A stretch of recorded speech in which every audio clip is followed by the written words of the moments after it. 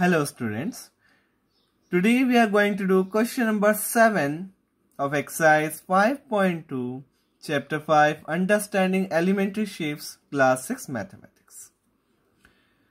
Where will the hour hand of a clock stops if it starts from 6 first one from 6 it starts from 6 and turns through one right angle.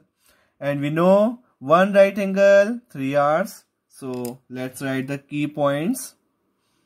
For every question, the key point is same. Key point is one right angle, 3 hours, two right angles, 6 hours, 3 right angles, 9 hours and 4 right angles, 12 hours. So these are the key points you must notice.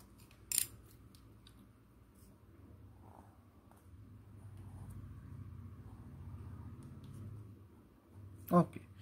So now let's do from 6. We are at 6 and turns through one right angle. So one right angle, when we turns through one right angle, that means 3 R's. Now let's move 3 R's in clockwise direction. So 1, 2, 3. So we stopped at 9. So hour hand of a clock stops at 9. So it stops at the hour hand of a clock stops at 9 o'clock.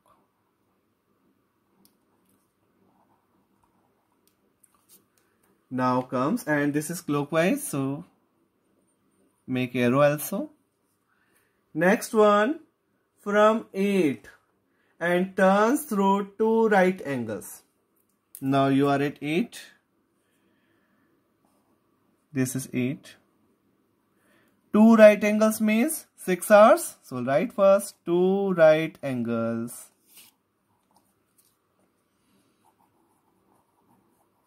equals to 6 hours. So let's move 6 hours. 1, 2, 3, 4, 5, 6. So we reach at 2. So it stops at 2 o'clock.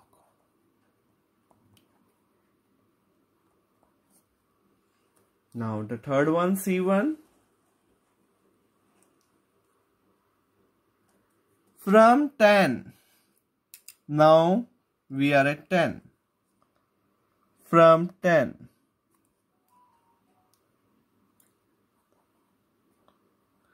and turns through three right angles. And now we know three right angles. How many R's 9 R's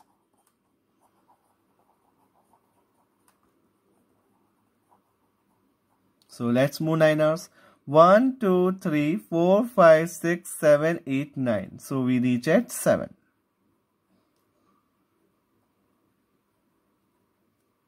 Clockwise direction. So it stops at 7 o'clock. Now comes to the last one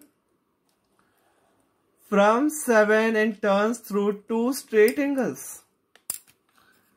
Two straight angles. Two straight angles means four right angles. And four right angles means 12 hours. So we have to move 12 hours From 7. So here it is 7. Now 12 R's. 1, 2, 3, 4, 5, 6, 7, 8, 9, 10, 11, 12. So, again at the same point, means 7 o'clock only. So, it stops at 7 o'clock only.